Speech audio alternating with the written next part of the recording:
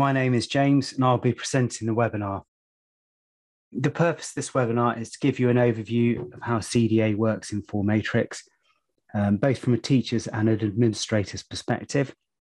So we can use the system to produce powerful summary reports, um, as well as detailed individual reports, um, an example of which I will show on screen now. So this is one of the pupil level reports that you can produce.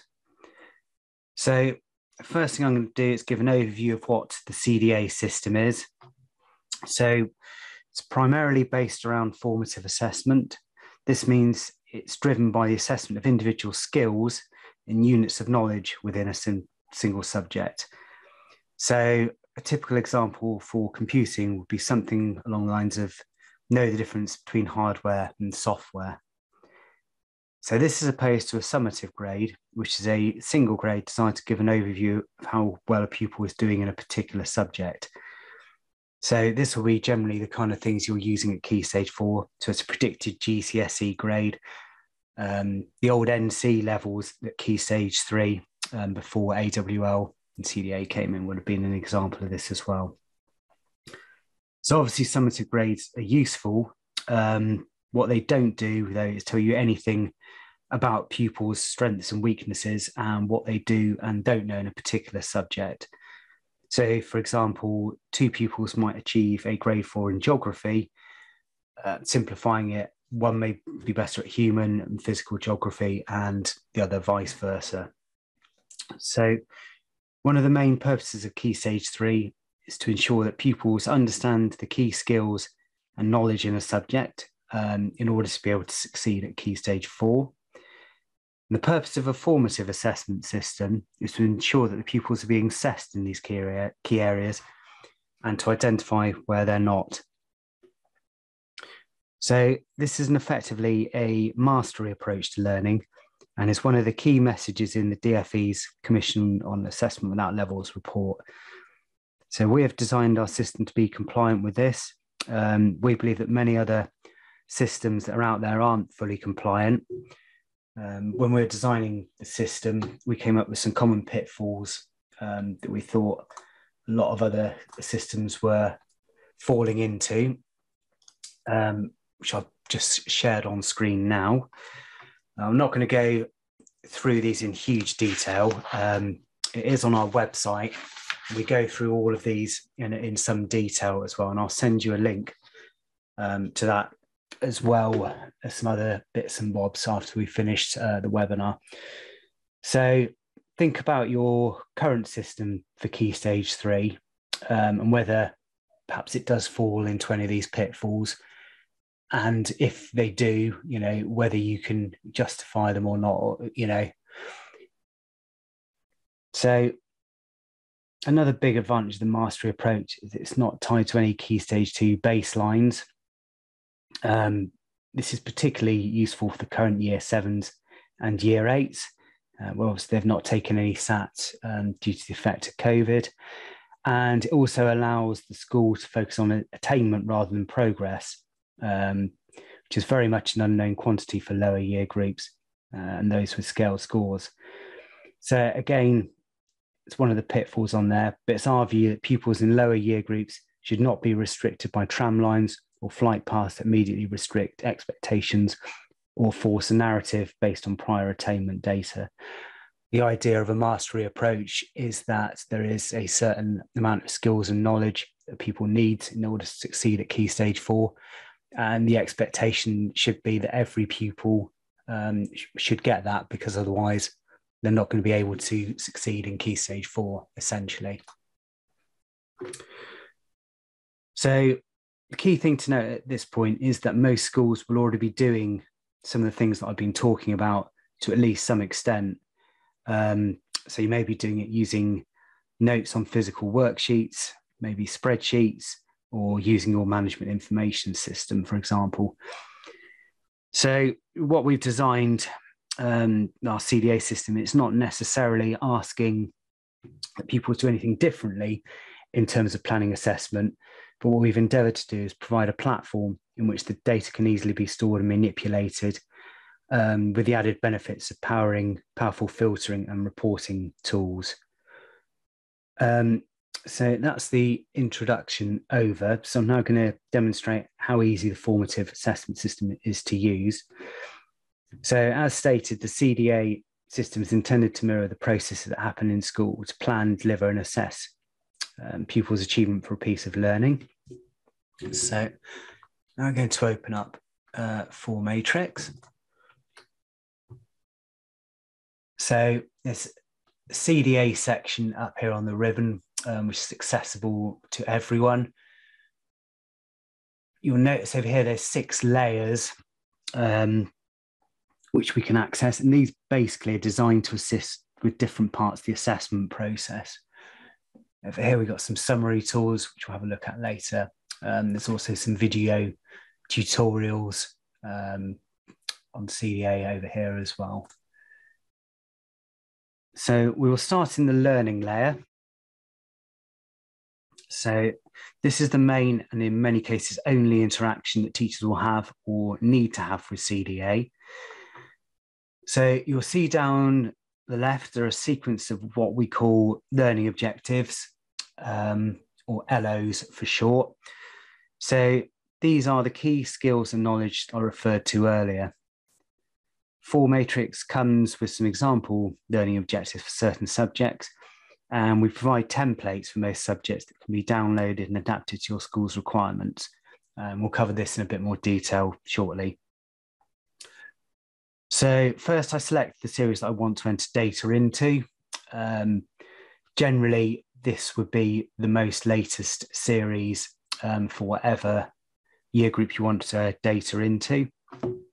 So basically, these are set up by the 4Matrix administrator in advance, um, simply creating a new year series using an MIS extract.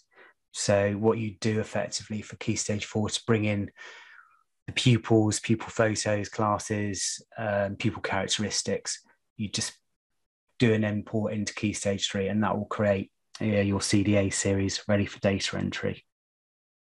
I'm a teacher, I then select my subject from the list so we've got some built-in ones here. Um, I'm going to select computing. Because we've got classes in there, I can then filter by my own class over here. So I teach 7 ITC3. Um, so our intention in future versions of 4Matrix that this selection will happen automatically based on who the teacher is that's, that's logged in at a particular time. So in this particular term, we've been teaching about how to use networks and the internet safely. So a relevant LO for this is LO1. So you can see it's got a number code over here as well, uh, which is know how to use the school network and conduct when using IT systems. Uh, so if I click on a cell for that row, it will show all the assessment grades that are available for me to enter. So if I click on one of those, and then hit apply. You can then see it enters the grade. So I've also got these arrow keys as well, which effectively applies it and then moves on to the next pupil. So there's a number of ways to enter data more swiftly, which I'm now going to demonstrate. So firstly, if you type the first letter of the grade in, that will populate it as well. So I just type S that's insecure, M for mastered, etc., etc.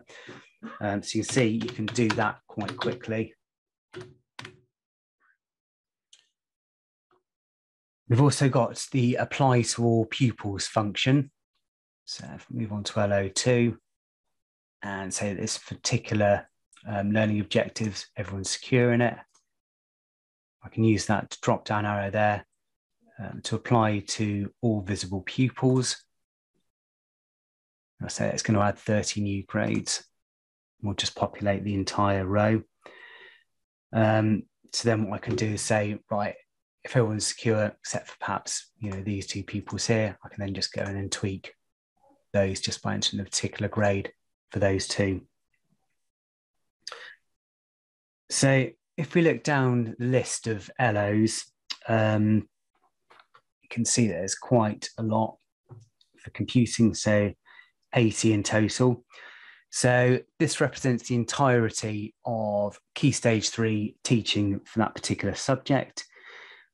However, it's likely that in a given period, we are only going to be assessing a few learning objectives. And what I can do is use the unit filter in the bottom right um, to only select the relevant LOs. So if I click the drop down arrow next the unit filter there, that basically brings up um, all the periods where I'm teaching and what I'm teaching. So we're in the autumn term of year seven. So I'm just going to select all those there.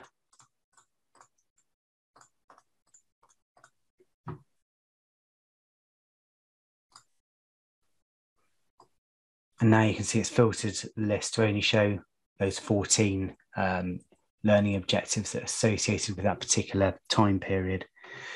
So what I can now do is, as well as using the apply to all um, horizontally, I can also use it vertically. So if I want to apply a particular grade to all uh, one particular pupils, so say uh, Devan is secure in everything I've assessed him for in this particular series.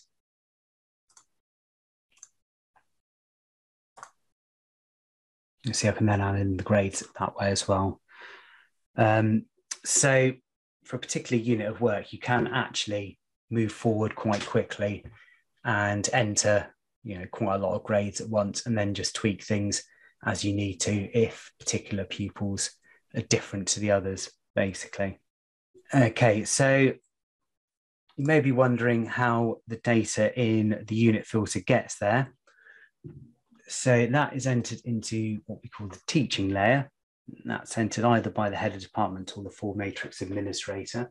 So the data contained in this layer is what's usually known as the teaching plan or the scheme of work. So it's a record of what is taught and when and how it's assessed. So all departments should have one of these. Um, basically, like I say, it might not be in this particular format. It might be in a spreadsheet, just written down on a bit of paper, um, but it will be there in some format. So you can see here, if I go on to computing again, that using the school network and the e-safety topics, so these ones here, are being taught in the autumn term of year seven, and are then being assessed using the learning objectives one through seven. So the plan can either be input manually um, by, or by importing via a spreadsheet. So you see you've got an add function up here. So yeah, I can add a new topic, um, add a new theme in, give it a particular code, assign it to a year, and then choose from all my learning objectives and outcomes down here. So entering this is optional. Um, hopefully you could see that on the previous screen, it really helps with data entry in the learning layer, um, as well as being quite a useful visual reference in here as well, as what's to what's being taught when. Moving on to the main admin function in terms of CDA setup. Um, this is the statement editor. So this lies in the admin uh, function here. So it's not available to teachers. So it's just an administrator function, as I said. So this is where basically you add all the learning objectives in. Um, so you can see here for computing, we've got those 80 learning objectives. If I want to add a new one in there, I can do so, given the automatic code of 81. Um, again, your heads of department should be providing this information, preferably electronically. And then again, you can just import it, copy and paste it into here, manipulate it so it's using those categories, and then just import it. And you can bring in lots of uh, learning objectives at once doing that.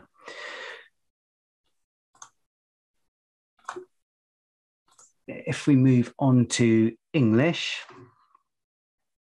um, you can see it's possible to add a category and subcategory um, into here, which basically allows you to group things by topic.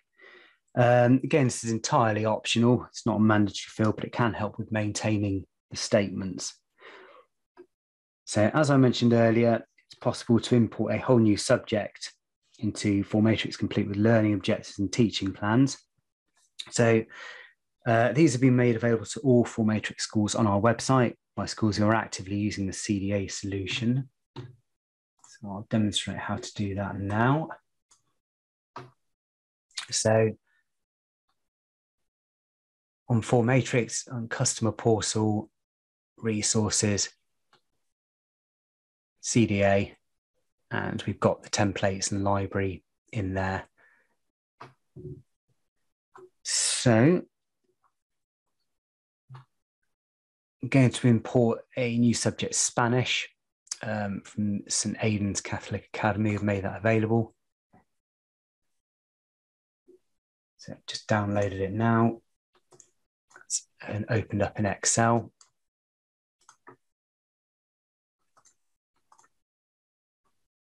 So you can see a list of LOs there. They've also put in a, a teaching plan as well. So to do that, I go into CDA, admin, uh, manage subjects.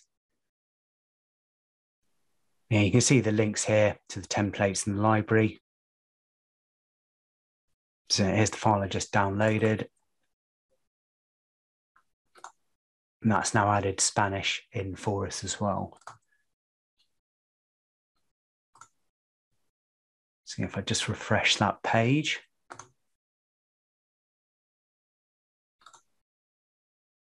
You can now see we've got Spanish there.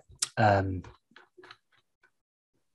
we can manipulate these LOs as we want. So say in our particular school, we didn't want to do this particular module, uh, which is around food. You can take those out as well.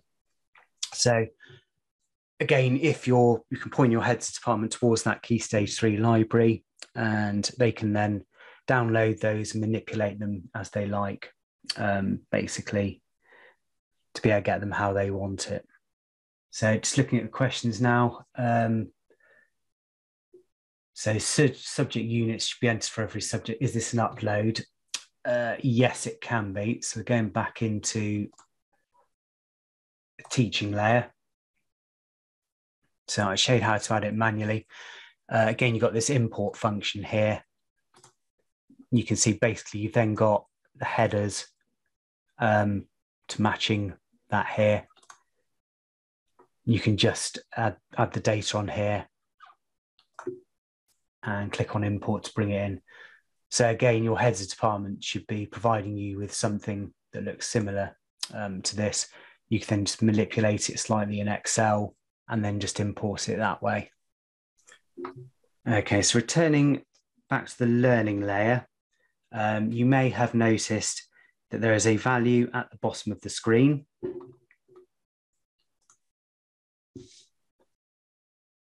So each CDA grade has a point score, um, which equates to a nine to one grade. And the value shown at the bottom of the screen is the average for a child and a subject.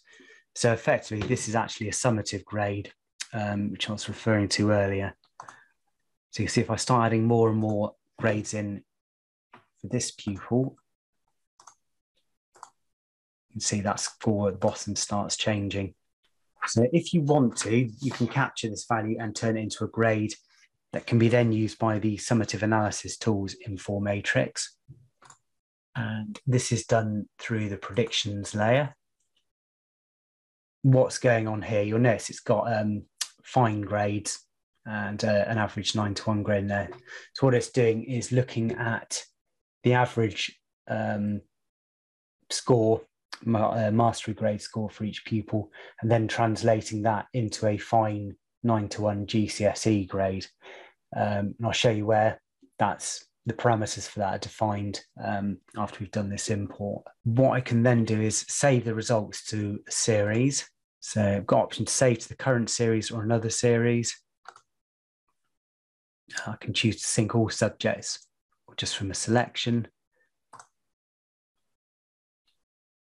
Then tells me what it's doing. So are these new results or existing results? I is it overwriting or adding new?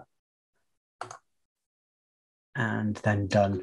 So then if we go into the main analysis tools um, in 4Matrix,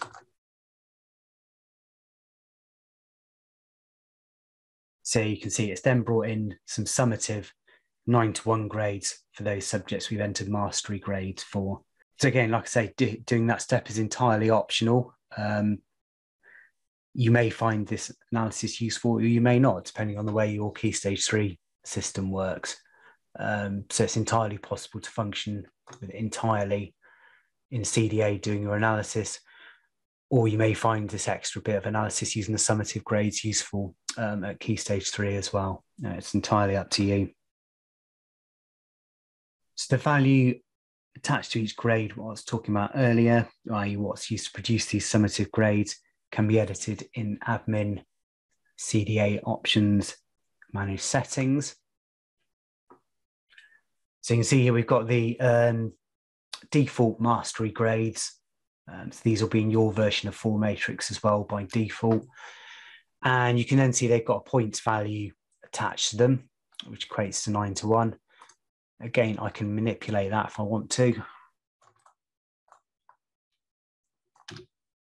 So this won't change anything retrospectively, but now anytime anyone enters a secure grade, be worth a seven. What I can also do is add a new grade in.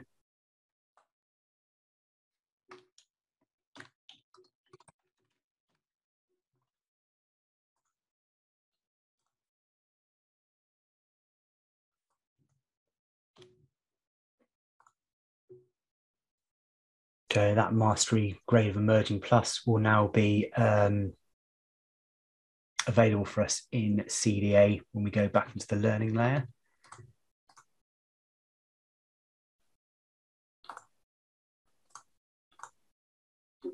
So over here on the right, we've basically got the grade mapping, uh, which is looking at the average mastery grades over here, and then turns it actually into a nine to one grade that you can then use for summative purposes. So, for example, for pupil scores between 4.83 and 5.17, that'll equate to a straight five. They're between 5.17 and 5.5. Um, they then move to a five plus. Again, this is entirely uh, manipulatable if you want. So, question Can you import the individual student grades EDSM if currently recorded in a different system? Um, the answer, if you're looking at an individual pupil level, is no currently. Um, but that is a high development priority, basically. Um, so, we are planning a whole raft of improvements to CDA. And yeah, that, that is one of them, basically. So at the moment you have to manually enter the grade, um, but we want to introduce the option basically to in- actually import CDA grades as well for pupils in different subjects. So again, that then would allow you to migrate any data you've got in your older systems, and it would also add more functionality into the data input here, um, because potentially you teachers would be able to add those grades onto a spreadsheet, and then you could just import them in rather than doing that data entry. Um, so it's another option.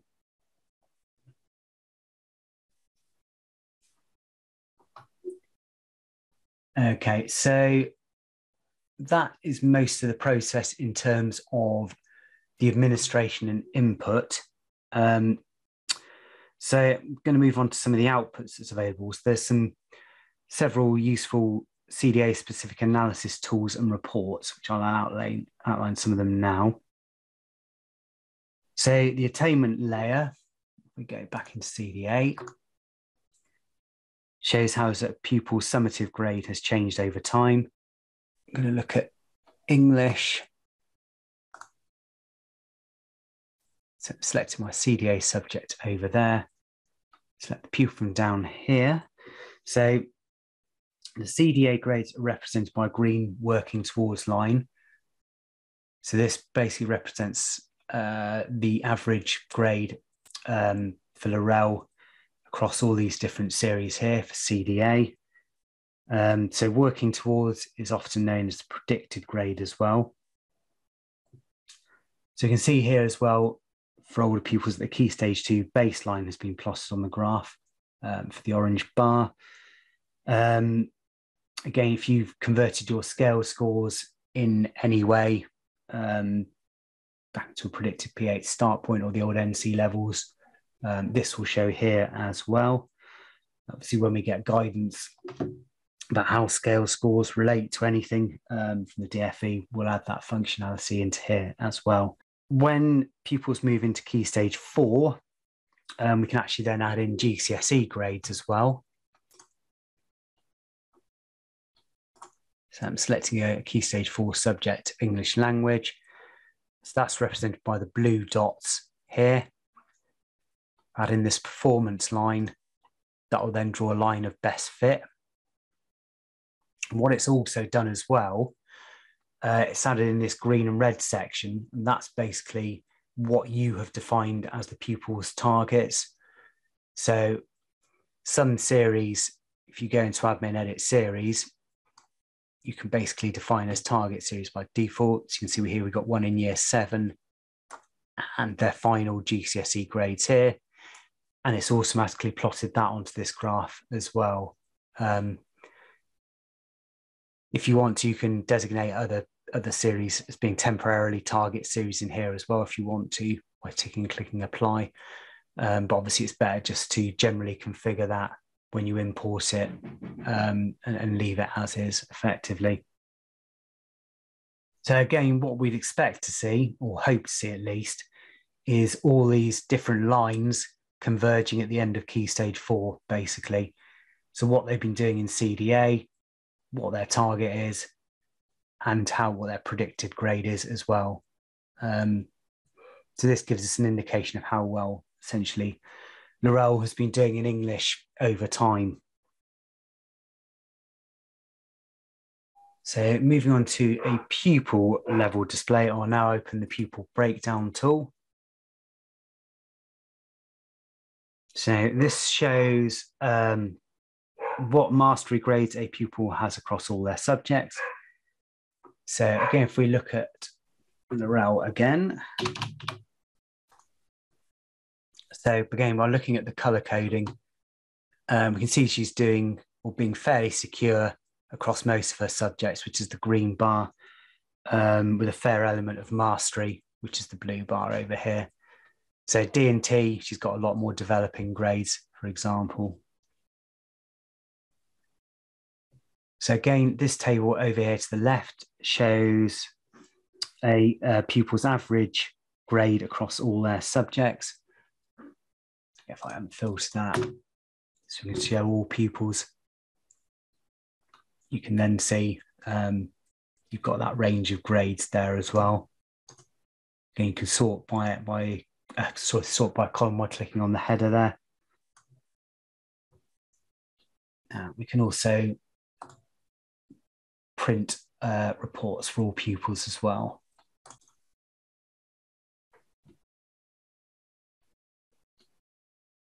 So again, summary report there uh, for Narelle across all their subjects, basically showing the graph um, and table that you had on screen previously.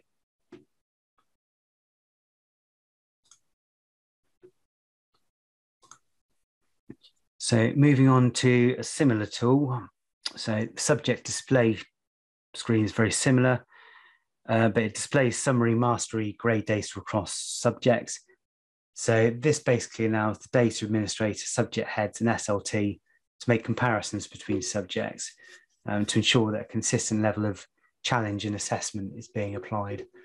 So, you know, for example, if you see that one subject it's got a high, very high component of mastery grades, and another doesn't. It's perhaps got a high proportion of emerging grades.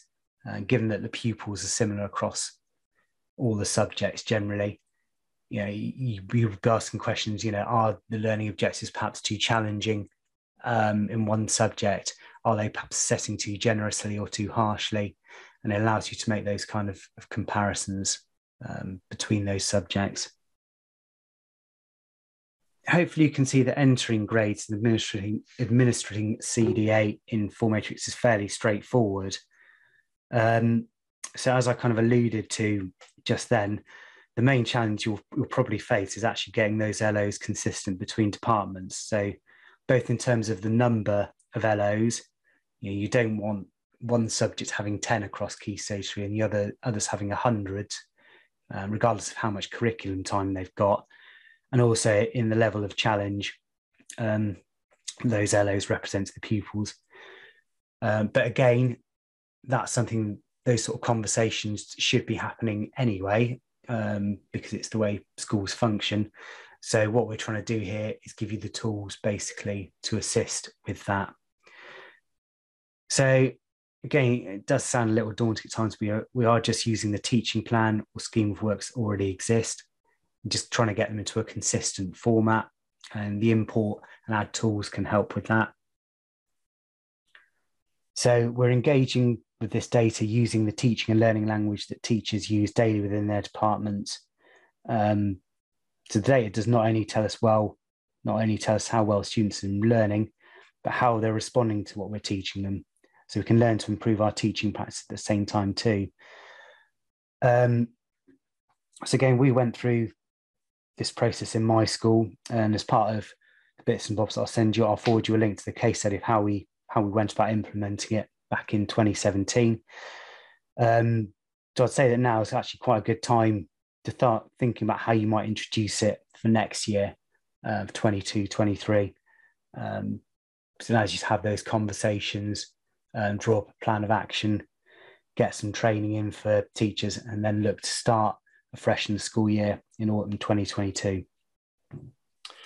So another thing I'll send you a link to is a practical guide on how to set up CDA, um, which again goes through a lot of the things we've discussed today.